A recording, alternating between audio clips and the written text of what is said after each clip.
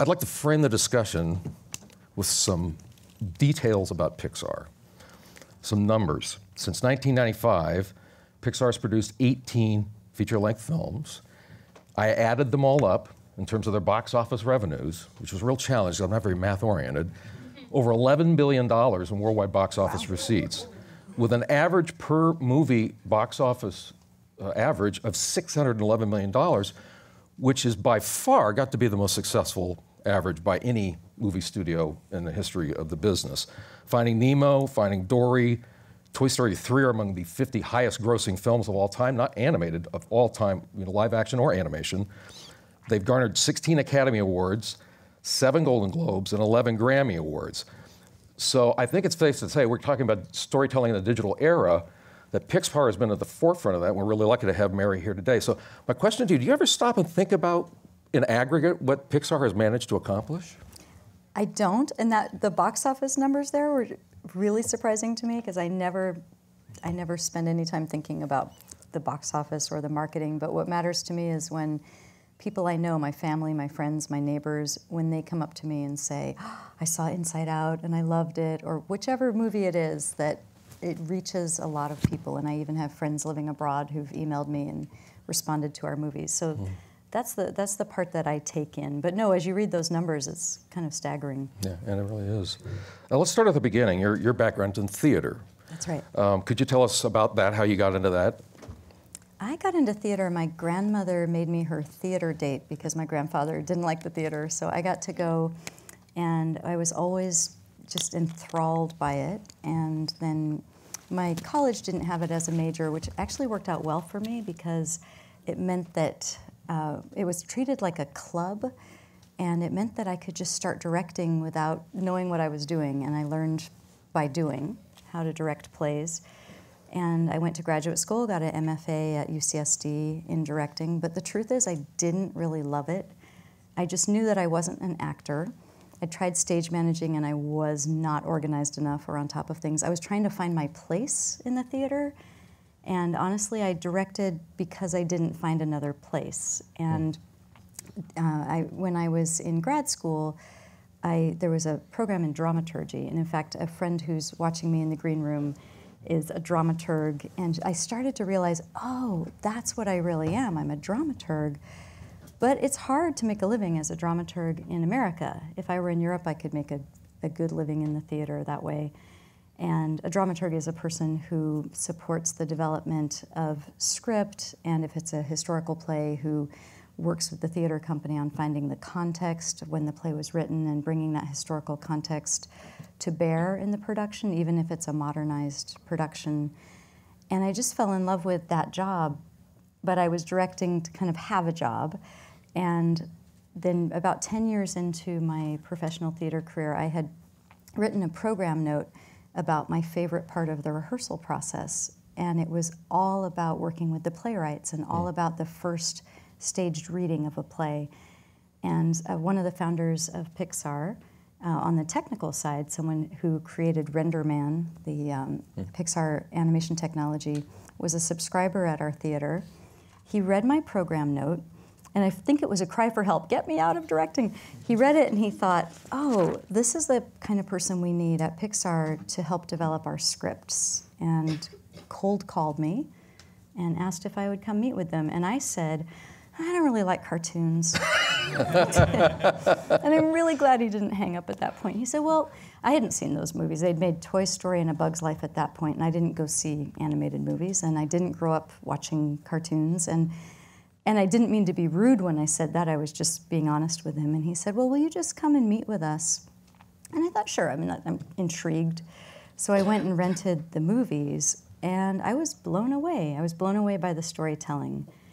And frankly, the, the computer animation of it, I, I don't know, I liked it, but it, that wasn't the thing that drew me to it. I was so moved by Toy Story, and I found Bug's Life so entertaining. And I'll tell you, one of the things that really got me, I don't know if you remember, but at the end of Bug's Life, they have outtakes. and I was watching those, you know, on my VCR back in 1999, and I was watching the outtakes and thinking, oh, that's funny that they messed up that. oh, that's not an actual blooper. And I thought, these people are very clever. I want to meet these people who tricked me into thinking that was an actual outtake. I think that was the first after credits, post credits thing like that, if I'm not mistaken. It might have been, yeah, yeah. And so I wanted, I just was intrigued by them, but I never thought I would work there. I had just been promoted at the theater where I was working, and I just went to check it out, and then by the end of that first round of meetings, I was completely hooked. Hmm. hmm. So you were the first woman to participate in the Pixar Brain Trust. Could you explain to these folks here what the Brain Trust is at Pixar? Yeah, it's a bit of a pretentious name, and I'll, I'll That's what you refer to it in house, right? We do. We call it the Brain Trust, um, but w- it's one of the things that I think has made Pixar successful, and it's one of the things that sets us apart from the industry. And we're not in Hollywood, we're up in a little town called Emeryville in between Oakland and Berkeley. And I think being physically removed from Hollywood, but also just having evolved separate from the industry, our working process is really different. And we don't get, our directors don't get their story feedback from executives or from the business side of industry people. We get our feedback from each other. So the Brain Trust is made up of all the studio's directors, heads of story, and then myself and one colleague. And you know, my title used to have the word executive, and I got rid of it because I don't function the way a Hollywood executive does. So that means that the people giving creative feedback have been in the creative trenches. And there's a way that that you're able to say to a fellow artist, oh yeah, that's that's really hard to come back from a low point after this happens to your character, and to be talking to each other as fellow artists. Mm-hmm. Um, uh, there's a story I think didn't Andrew Stanton in Finding Nemo that opening didn't he have that placed later and it was finally after the people said the Brain Trust had to beat him up a bit about yeah, that. So yeah. what happened is in Finding Nemo, the Marlin character, uh, we would find out it was doled out gradually in flashbacks what had happened to his wife and all those other eggs that didn't get to become fish babies. And what happened is, as you watched the movie, not knowing where all of his fear and anxiety came from, he was just an annoying, overbearing dad and really unlikable. And he's the protagonist, even though Nemo's the, the name in the title. He's the character with the biggest arc and the biggest change. And it was hard to have a protagonist be that hard to engage with.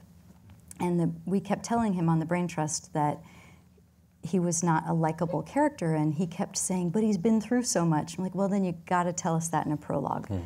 And it just made a world of difference because then you forgave him for being overbearing with his son. And some of you might know this because I think it's on the, the DVD bonuses. And the Pixar documentary team puts so much love into those bonuses. If you haven't watched them, I, I learn a lot from watching them, even though I work on the movies. And Andrew, the root of that movie was he had been working so hard on A Bug's Life, he hadn't spent a lot of time with his son, and his son was, I think, six or seven. And he took him to a park, and he realized as they were at the park that he was constantly saying, Don't touch that, don't go that high, be careful, stop. And that he wasn't enjoying his time with his son because he was so busy trying to protect his son. And he had that sort of realization that he didn't want that to get in the way of his relationship with his child. And that was the spark for this movie. And that's one of the hallmarks of of Pixar, isn't it? I mean, that the directors find something that they can personally, they're, they're emotionally connected to, maybe even in their personal lives. Absolutely. So, for example, in Inside Out, the director, Pete Docter, he, he came up with that movie when his daughter, Ellie, and Ellie had played the character Ellie in Up and was the inspiration for the little girl Ellie in Up. And she did the voice, and that character's exuberance was based on his own daughter. And then she hits 12 years old and she completely shut down, turned inward, started, you know, covering her face with her hair.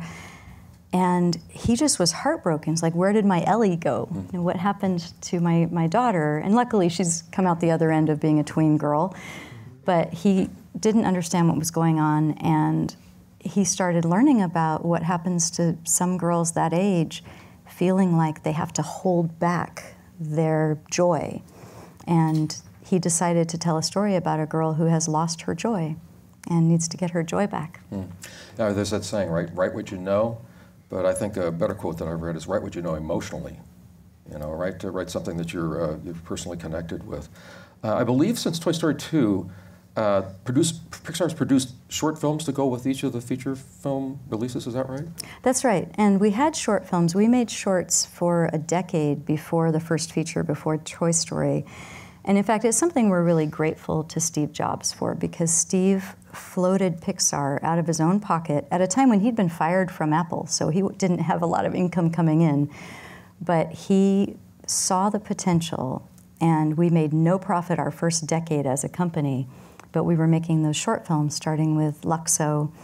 And so some of the shorts that we'd made in that period we used for our early films, but then when we used the ones that we were most proud of, we thought, well, we like having a short in front of a movie and it's fun for us and we started making shorts to go with every movie. And haven't you been intimately involved in the short film? Yes, I oversaw the short film program and now it kind of has a, a life of its own, but I did shepherd and my favorite, as you know, is La Luna. Yeah, La Luna is wonderful. Um, so uh, I, I, know everyone asks you, I'm sure you've told me this, and people come up from LA and say, well, what's your secret? How do you do this? And um, I found this quote from Michael Arndt, who of course wrote Toy Story 3, and I think that you we surfaced, Michael, when you did read Little Miss Sunshine before the movie came he out. He said at dinner that I discovered Michael Arndt, and I thought, I can't take credit for discovering um, a person, but I, I, read, I read a ton of scripts, and I sit down with every screenplay I read, I sit down wanting to love it. I want to be blown away. I want to be excited because I want a pool of writers to draw from. And a lot of the scripts I read don't feel thought through enough, or they, they have a lot of good elements, but they don't add up. And when I read Little Miss Sunshine, and it was well before it was produced, I just had that thrill when I got to the end of, oh, I've just been on a journey where all of the parts added up. Yeah. Uh, he's a heck of a writer and kind of a writer in residence in a way. For, oh, we'd love to have him as a writer in residence. We can't keep him. He's uh, he's writing and directing his own film now, but we bring him in. He's part of our Brain Trust now, so we fly him from New York for Brain Trust meetings, and it's so worth it. Well, so this is where he started out his process with Pixar. He, he quote here. I thought they must have some foolproof system, some big Pixar story machine, but they actually just make it up each time as they go along. Pete Docter's analogy is everybody holds hands and jumps out of the airplane with the promise that they'll build a parachute before they hit the ground. so, what's your reaction to that? Well, it's. I'll say that doing it that way, which is true, that is how we do it, is really stressful.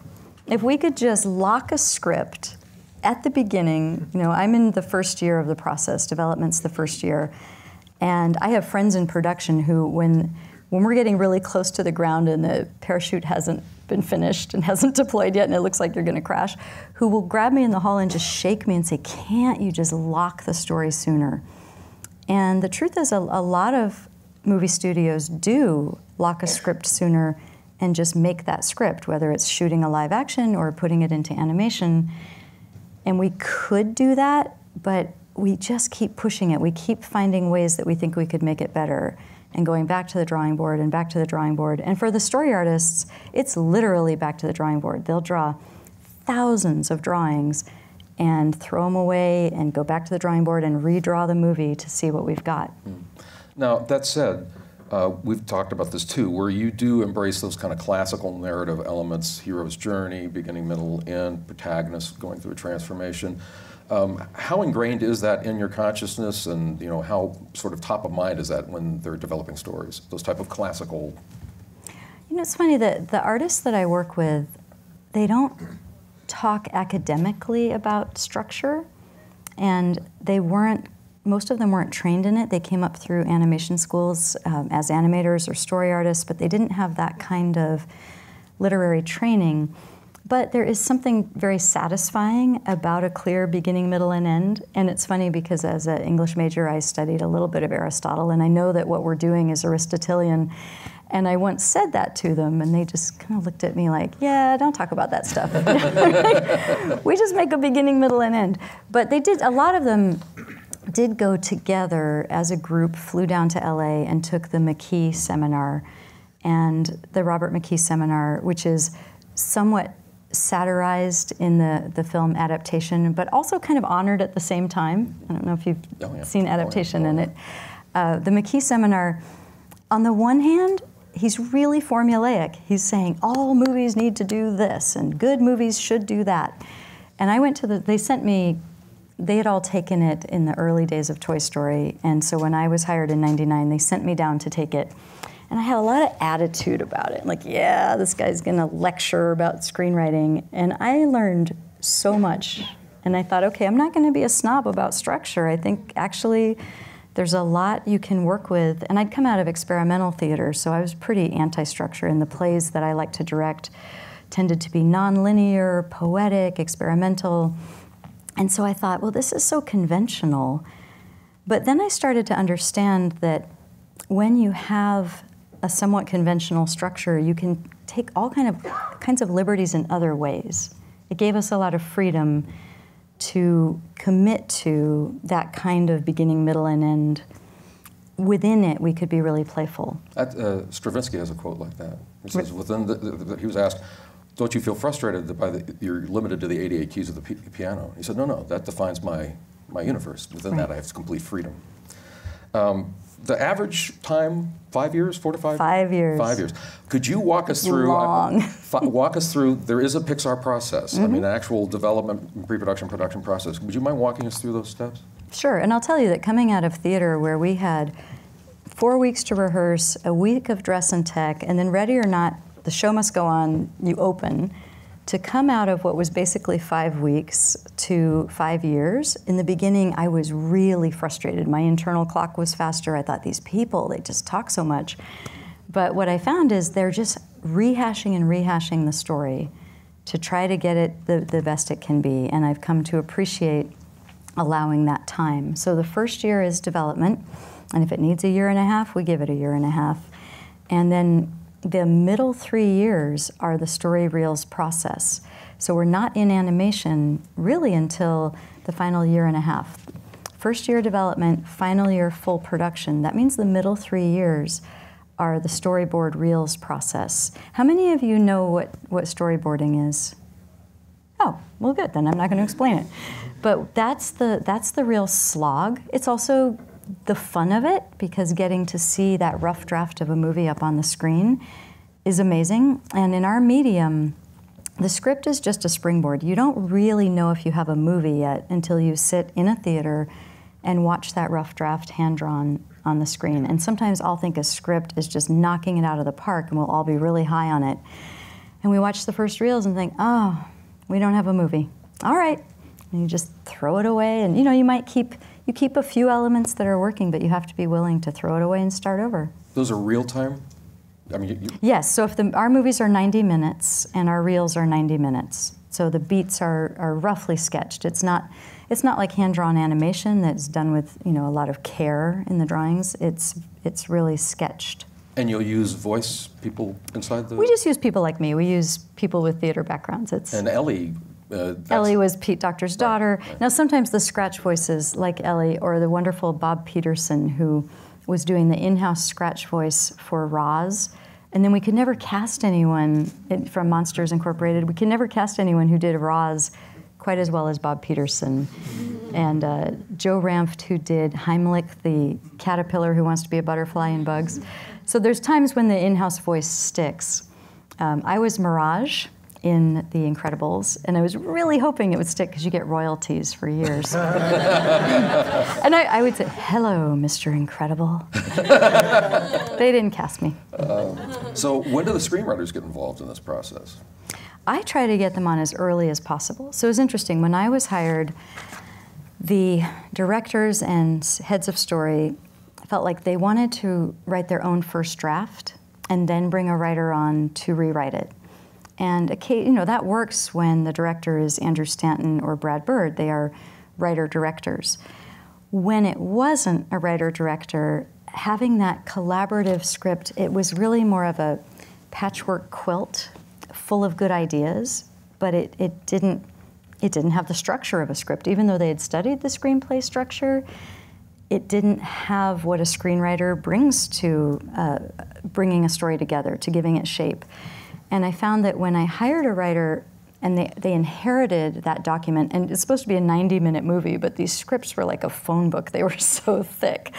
And we're saying, well, it's a little long. No, it's way too much. Um, it made their job so much harder because they were revising something that didn't have uh, the right foundation yet. So we found that bringing them on earlier in the process, ideally, we, when the idea is chosen, so that they can help lay the foundation for the first outline, the first treatments, set them up for more success to write a first draft. And when do the animators come in the process? There'll be people doing test animation in the middle of those five years, but the full animation crew is the final year. Mm. So here we are, we're an animation studio, but the full animation team is the last year of a five year process. There's so much that goes into it to prepare for a full animation. And I think it's like eight times you do these real-time reels. Is that right? Yeah, and when we're struggling, it might be ten. Wow. Yeah. Wow. Um, I want to talk about moments. Uh, one thing I think that you know we all remember movies by moments, and Pixar has so many wonderful moments. Uh, and I'd like to mention three, and just get your impressions and recollections. First of all, Up, which is, I think is a movie that we both really. Up is my favorite. Yeah, my favorite too. Um, now we all remember the married life montage where we all just, yes, I know, look, people, we all remember that, right? But I want to go to another moment where Carl has succeeded in getting the house atop Paradise Falls. That's his conscious goal. And he sets the chairs up and he's by himself. Of course, he's had this argument with Russell and Kevin's been taken away. And he's sitting there with the book, the adventure book, and he's flipping through there. And he has an epiphany in that moment. Uh, could you talk a bit about that? You recollect anything about how that moment came up or evolved and what it means in the story? I can because the the turning. We always knew that we wanted him to achieve his external goal, and it's a crazy goal. Like I'm going to take the house to Angel Falls, and that we wanted him to get what he wanted and find out it's not what he needed, and we. But we had a scene where he got the house. He he sat in his chair next to her chair and then kind of experienced the emptiness of it. And it felt like that would be enough to catapult him out to realize I need to be with this, this living relationship with Russell. And you know, he'd banished the dog at that point. And he'd, he'd lost everyone he'd connected with since Ellie died. We thought it would be enough to sit next to the empty chair. But in fact, that was just sad. It was just really sad to see him feel lonely with the empty chair. And we realized we didn't want just loneliness to be the thing that drove him to find those connections with the living. We wanted it to, to feel like it's what Ellie would have wanted. So then we had some moments where he would talk to her picture or imagine that she was telling him what she wanted, and it felt a little forced. And then I think it was one of the story artists. I'd have to look back at, we, we keep reams of notes of all of our meetings, but someone suggested a scrapbook because they had been collecting um, postcards of places they wanted to go, and that what if they had a scrapbook mm-hmm. and of a, a photo album of their lives, and that he had stopped looking at a certain point. He hadn't looked at the last few things she'd put in because it was too emotional for him. But the idea that when she knew she was dying, she'd written on that last page, "Thanks for the adventure." And so when he sees that for the first time, realizing that he's been so literal about giving her the adventure of getting to Angel Falls and not recognizing that their life together had been the adventure. So it was like her giving his blessing that they'd had their adventure and he could now live his life with these new relationships. And then there's wonder, that, that wonderful little reversal of the cross your heart. Yeah. Where he looks up and says, Yeah, I'll go and have a new adventure. Beautiful moment. Um, let's talk about Toy Story 3. Uh, of course, we all remember the, the, the big final conflict. They're, they're, heading down toward the fire and they're holding hands and everything. But I want to talk about another moment, which is the denouement. Uh, the denouement, uh, if you haven't, by the way, if you go to Hollywood, do not do what I did in the meeting and say denouement. That's not, that's not very good. I was a reader. Yeah. So, um, but a denouement is that moment after the conclusion, basically the final struggle, the resolution, where you, you get a chance to live with the character and just see what it means to them. It's basically one minute or two minutes. What you did in Toy Story 3 was like a five, six minute segment there with Andy and Bonnie. Can you talk maybe a bit about that, how that developed? Oh, about him handing over yes, the toys? toys? right. That came, that's pure John Lasseter. And I think something that John does beautifully is he he embraces sentiment. He's not afraid to express sentiment in a movie, but somehow it doesn't cross over into being too sentimental. It walks the line for sure, but that um, that sense of Andy having a chance to say goodbye to each toy. And honestly, some of us in the Brain Trust thought that's long for a denouement. We Yeah. thought, oh, it's going to feel like he's milking it. Isn't the most important one Buzz? I'm, I'm sorry, Woody. You know, shouldn't he kind of hand over the others and say goodbye to Woody? But then the way it played with his him giving that sort of loving farewell to each toy and acknowledging them as unique individuals, there wasn't a dry eye in the house No. And it's a culmination of three parts. of three movies. Three movies, and you had to do that. So that's an example of where Pixar can take, uh, do something different, like you were saying. You know, that's the denouement is part of a you know classic sort of narrative structure. Let's expand it. Let's go six minutes. We can do that. Right. If you know the rules, then you can consciously play with them. A third uh, Pixar moment I'd love to talk about is Ratatouille, uh, which I think is like uh, not often mentioned as one of the top. It's an underrated movie. It really is terrific. Thank you. There you go, Ratatouille. Okay, and uh, Patton Oswalt was he? in- Did he improvise any of that uh, dialogue at all, or was that all scripted for You him? know, or- it was written by Brad Bird, but Brad knew how to write to Patton Oswalt's voice. So it's one of those where, as you're working, so the actors come in and do recordings. We use Scratch for the first maybe year and a half of reels, but then we start folding in the, the professional actors. And I think it's one where, as he was working with Patton, he started to get a sense of what Patton could bring to it, and then when he would write his own revisions, he was writing for Patton, just like Andrew Stanton was writing for Ellen. I mean, that Finding, Finding Nemo, he wrote it for her voice before we cast her, before he'd ever even met her, and then when he reached out to her, he sent her uh, drawings of Dory and a, a character description, but he also said, "You have to play this because I wrote it for you, and no one else can do it." And that's how to appeal to an actor's ego. But it was true. He just had her in mind the whole time. But Patton was a real find for Ratatouille. He just brought so much heart to that character. Yeah. Um, I'd like to actually talk about a, a different kind of a moment and a different character in Ratatouille, and that's Anton Ego, the food critic, who's so hard ass, right? and there's a moment where he eats the ratatouille. You, remember, you know what I'm talking about? And he has a flashback. Could you talk a bit about the development of that moment and how important that was in, in the story? I think Brad had that in mind. Actually, I should be, uh, Jan Pinkava, the originator of that story, the creator of the story, had that in mind really early on, sort of the, the power of the critics to make or break the restaurant, and that being a sense of conflict in the film.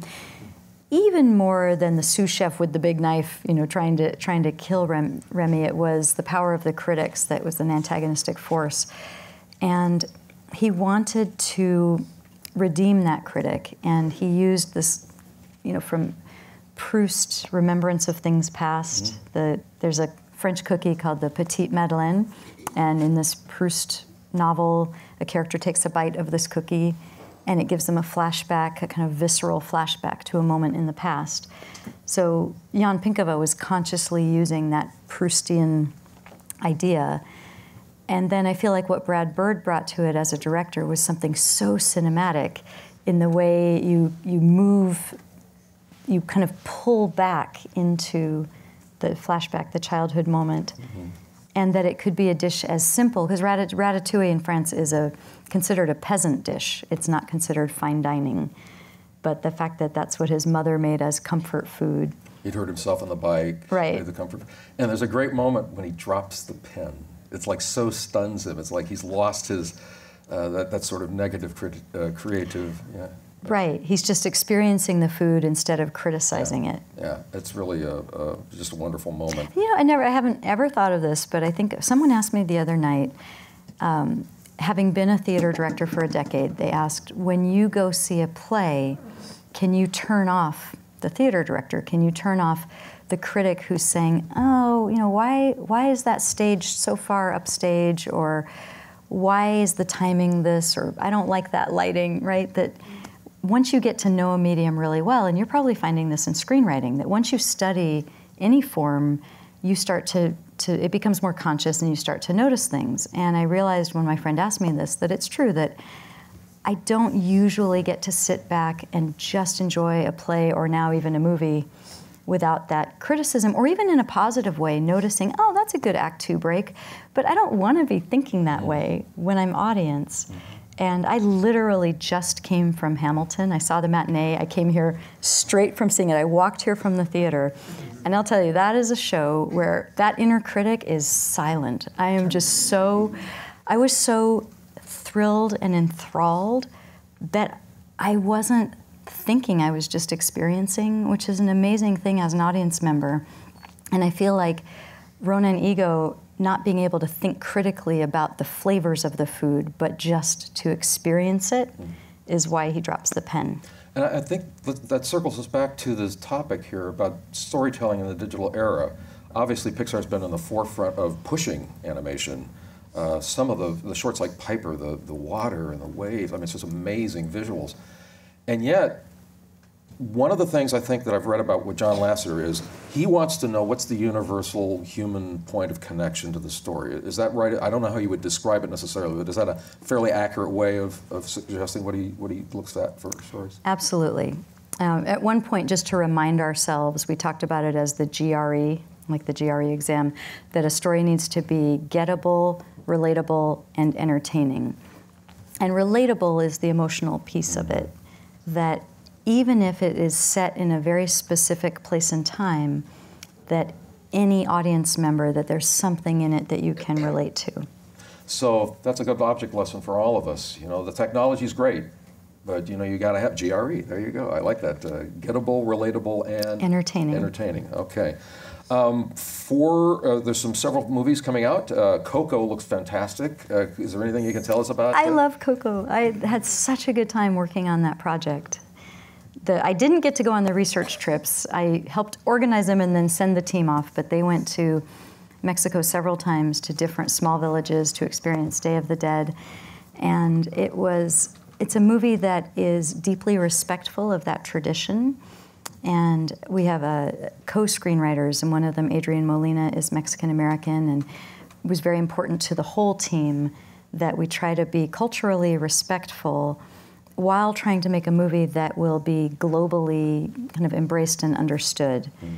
And um, I'm really, really proud of it. Mm. And I don't want to give anything away, but I will share one thing with you. After you've seen it, you can go back and there's um, a documentary, I think it's called Alive Inside.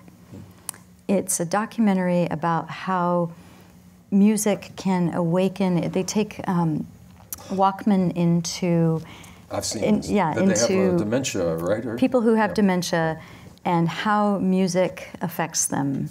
And I don't want to say anything more, but see the documentary after you see the movie, otherwise it'll give things away. Yeah. Um, two sequels coming up, and then some original productions. Uh, Incredibles 2, Toy Story 4. Anything you can share with us on those?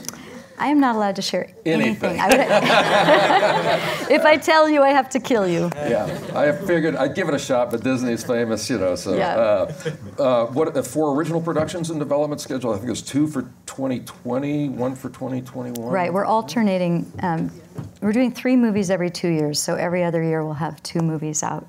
Okay, well, that's exciting. Uh, people have questions for Mary, you can start heading back up to the mics. Uh, I'm going to ask another couple of questions here. So, for animation students, we have a great animation uh, concentration here program at DePaul. How many of you are in the animation program? Oh, oh, oh great! Good. I'm glad Any you advice for uh, animators in terms of like, well, maybe not necessarily potentially working for Pixar, but just generally speaking, any advice for animators? I know very little about animation. My husband's an animator, so if he were here, he could give you advice. Uh, because I'm the first year of a production, and animation's the last year. So we really don't cross paths. In fact, my husband and I worked at the same company for years and literally didn't cross paths. We met at a Peter Gabriel concert. So really, we're such we're in different buildings. We're in different worlds.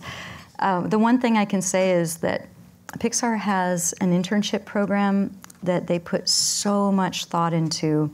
And I think about when I was an intern at the Magic Theater, I made bad coffee and Xerox scripts, and no one cared if I was learning anything the Pixar internship program, they put a lot of thought into what the interns get out of it, not only what the studio gets out of it. And it's a summer program that you can apply to within a year of graduating from school. So I would, I would check that out. I think that what I'm hearing, what I'm learning is that that the, the student programs are great and learning on the job is great, but one of the best things you can do is make your own film. And what I'm understanding about what's happening culturally is that people working with their peers to create something, and it doesn't mean that you don't get a day job, right? But even right now, full time animators at Pixar, full time story artists, full time lighting TDs are working with their friends nights and weekends to make their own short films. That becomes your calling card, even within the studio. Uh, we have a, a, young artist who just made a movie called Weekends, and I hope you get to see it at festivals. It is beautiful. And he made it on his own time, on his own dime, nights and weekends with friends. And I'll tell you within the studio, everyone's noticing him. So he, we always knew he was a very talented story artist, and people want them on their story team. But he's announcing himself as a writer director by making his own short. Well, uh, that's one of the things we have here at DePaul. I'm sure the animation students are making wonderful animation movies. We have a short film festival oh, it's great. We, uh, every year.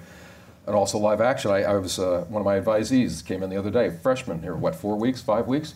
I said, well, you know, we got all this great equipment. We've got CineSpace and studio, you know, facilities. You should be out there making a movie. He said, I already am. He's been here five weeks. He's already making a short film. So yeah, get out there and make stuff, do stuff.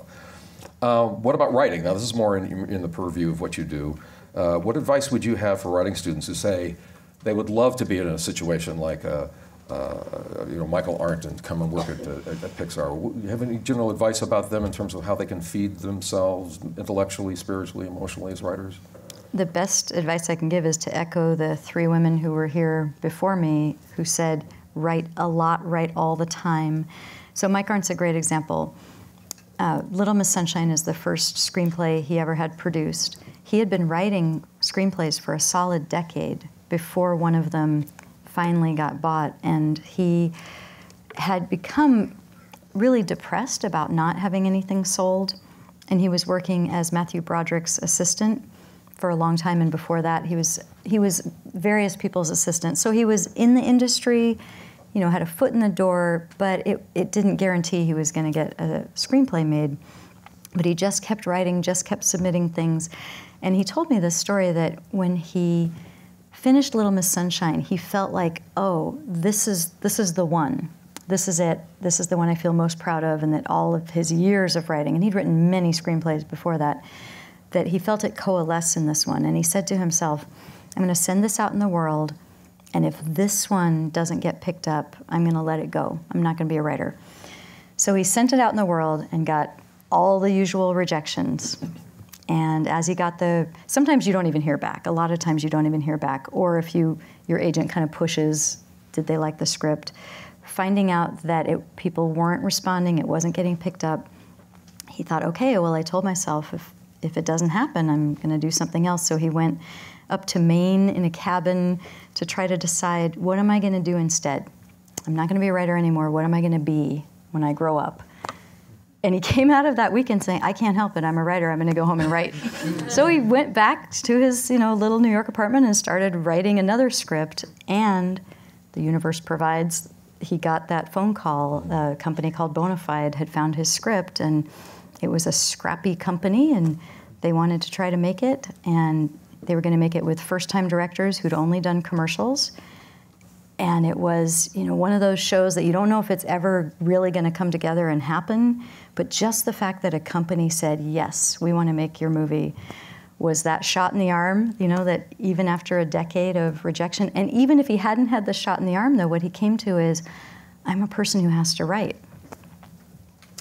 uh, yeah he gave himself a year and he wrote the first draft in four days and then spent the rest of the year rewriting that draft and it almost fell out several times financially. There were some issues. Oh yeah. It was. It's, it's really hard to get a film made yeah, these yeah, days. Yeah, but then it was a hit at Sundance. It won an Oscar. So it certainly the perseverance, the perseverance paid off for him. But really, the best advice is just keep writing, just keep writing. Now, Scott and I met at a wonderful screenwriting festival in Austin. They do it every year in October, it's coming up. And I think that's really inspiring for students, and that there's some great, there's both practical industry advice that you get from going to panels, but there's also just a lot of inspiration and a lot of great screenwriters come.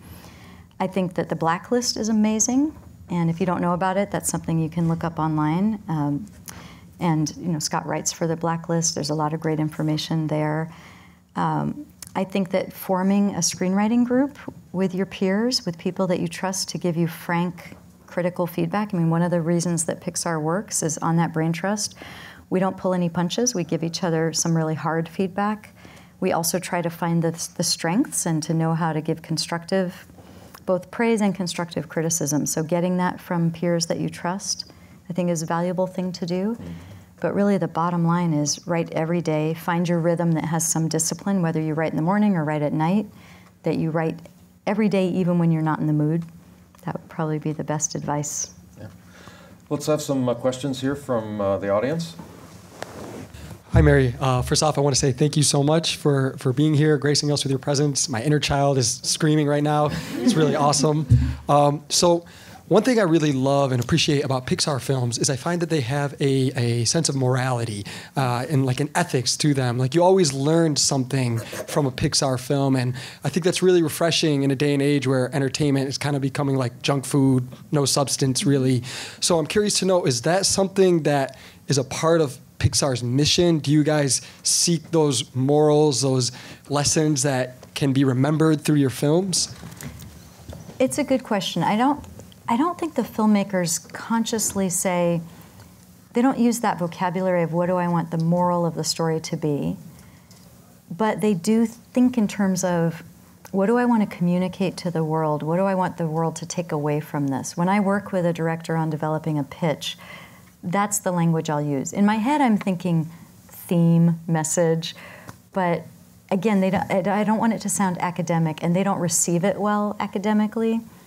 So I translate it to something conversational of, you know, what, what's important to you? You have this platform, and it's a global platform. And if I think if you say, what's your message, they'd feel too much pressure.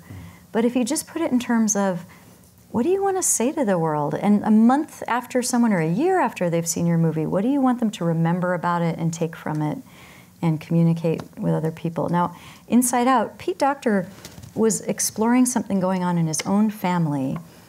Now that his movie's out in the world, I have a child psychiatrist acquaintance who called me after the movie came out and he said, I now use the characters in your film as tools for my patients to talk to their parents about how they're feeling. And we didn't set out to do that, but he did say out, set out to explore something about the human condition. Thanks. That's such a wonderful moment where, where Joy rolls the memory back and she realizes that sadness has got to be a part, and, and uh, she cries. Yeah. It's really, really powerful stuff. And I bet that uh, uh, it is a great object lesson for families to be able to do that, you know, to be able to express all those feelings. And also something that changed in the course of that movie. So he had something to communicate, but he didn't know exactly where it was headed. And sometimes it helps. Like Coco, we, we found out early on where that movie was headed and that ending became the North Star, and every decision was about what's going to serve us to get to that North Star. Whereas in Inside Out, he started off with a journey, the middle of the story, all of Act Two was a journey between joy and fear.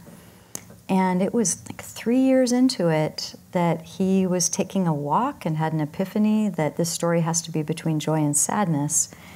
And that what he ended up making was a movie, and think about this in this country, in America, a movie that says it's okay to be sad, mm-hmm.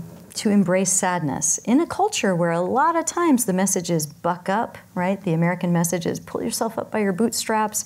If you're feeling sad, take some medication, get over that. So for him to, to put that movie out there that there's a place in your life for sadness, that that message, if you want to call it that, evolved over the process of creating the movie. So I didn't, we didn't set out to say that, but in setting out to, to explore an issue, we found something worth saying. We had a question here. Hi, my name is Alicia. I'm an animation major here. Um, I have two quick questions. First of all, it's nice to meet you. Um, Just a little, speak a little closer to the mic, please. okay. Thank you. Um, first question is so, how would someone like get into a job similar to yours, where you're making creative decisions for like movies or films and things of that nature? On the development side, you mean? Yes. Okay, yeah. Pixar is an anomaly. The fact that they recruited someone from an experimental theater, that's not how Hollywood does it. Um, I think that my understanding, and I've never worked in Hollywood, I've never lived in LA, but my understanding is that for a development job, you pay your dues, you start at the bottom of the ladder, you get in as a development assistant, an assistant to a development executive. They have you reading scripts. If you're good at reading scripts and writing coverage, which is your evaluation of the script, then your boss will notice that that was helpful to her or him, that your coverage helped them decide if this is a script they should spend their time on, and you might get promoted. There's a there's a ladder down there of uh, junior development exec, senior development exec, director of development, VP. We don't have that ladder. I'm in the same job I was hired to do 18 years ago. Um, but I think that in, in the industry, that's there is a, a clear ladder for it, and that I think the training for it is really oh, it's a lot of English majors and lit majors who get into becoming development execs.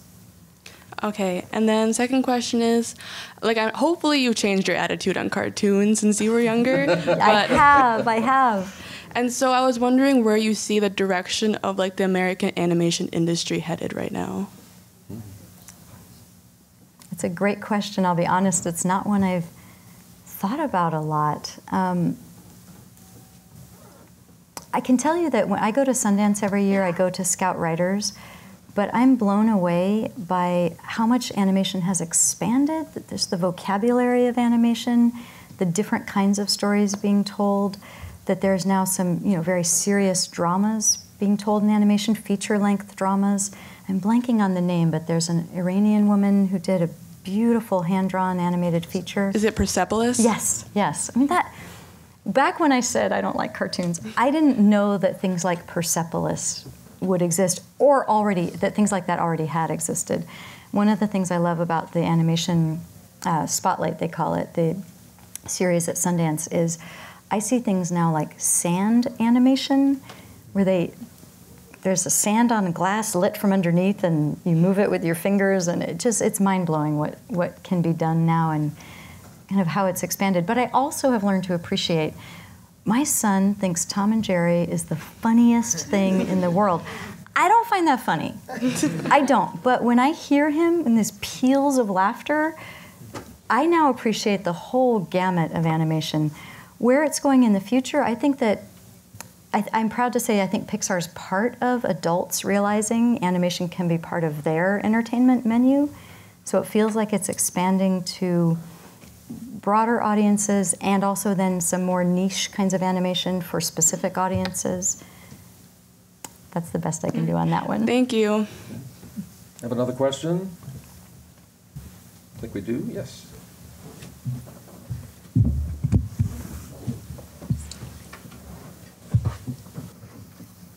Hi, how you doing today? Yeah. Tonight.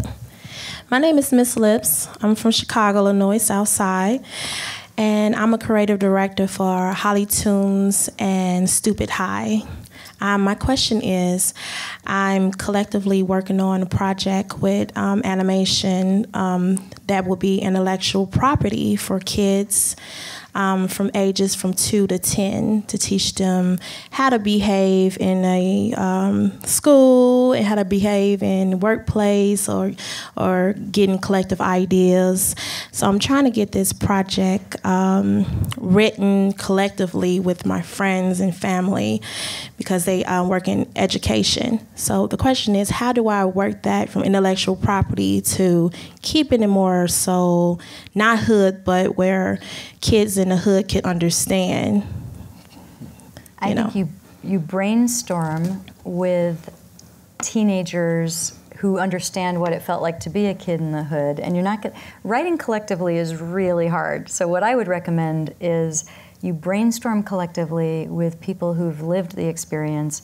You record it, you gather it, you gather that information. and then get yourself a writer to pull all those pieces together. I mean, I know that there's some amazing theater pieces that are devised collectively. Like I know Mary Zimmerman here in Chicago is phenomenal at doing that. But I feel like you, want someone, and I, that might be you, but you want someone who is capturing all of these stories and ideas and then and then giving it shape. But in terms of making it speak to a, a certain demographic, Right. then you get the adult and teen versions of that to to reflect on what might have been useful to them as kids. Like like in a case study, something like that, or psychologists, or Yeah, we do a ton of research at Pixar. So, for example, for Inside Out, you know, we're trying to figure out some things about tween girl psychology. We're down the street from Cal Berkeley, so we brought psychology professors, we brought neurologists, we brought in child therapists. We, we did a lot of that kind of research to get the input. But the most useful research was bringing in some 11 and 12 year old girls and asking them what it's like. What are they going through? What are they thinking about? That was more valuable than the academic research. okay. Thank you. You're welcome. Do we have any more questions? Here. Hi, I'm Jacqueline. I'm a film and television major here at DePaul, and um, my question is, what like what does your day to day look like at Pixar, and what is your favorite part of that day to day? Oh, great question. Question, yeah. It's interesting because my colleagues, most of the 1,400 people who work at Pixar, all of them in production work on one film for five years. I could not do that. So, what I love about my job is we have six films in development right now in various stages. Some directors getting ready to pitch ideas in the sort of blue sky phase of what do I want my ideas to be, and then some that are just launching into their first set of reels.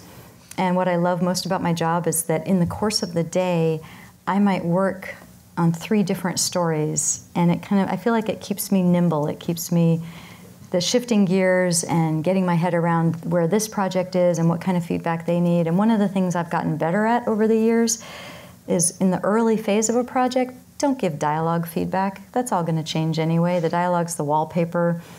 But when something's heading into reels, then I start giving that more specific feedback. And to the, the challenge of giving the right kind of notes at the right phase is one of the things that I enjoy most. And frankly, the thing I love most is working with writers. So I hire the writers from outside the studio, but bringing them in and kind of helping them find their way in our process is my favorite part. Thank you. You're welcome. Uh, You know, I think it's fair to say that uh, historians, when they look back on this generation in the last 20 years, there may be some who would say it's the Pixar generation because they grew up with these movies. I mean, I, uh, they, they've, not only the children, but the adults, the, you know, Pixar, the four quadrant thing, male, female, young. And so I think uh, what I'd like to do is just thank you for being part of Pixar. It's meant a lot to me personally, my family. I'm sure it meant a lot to you. And so if you wouldn't mind maybe giving a big round of applause for Mary.